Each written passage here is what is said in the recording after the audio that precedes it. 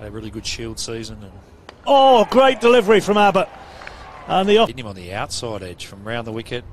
Just didn't really get back into the. So Oh, he's bowled him. He's pulled it onto his own stumps. timing. Bottom edge this time as he tried to play that.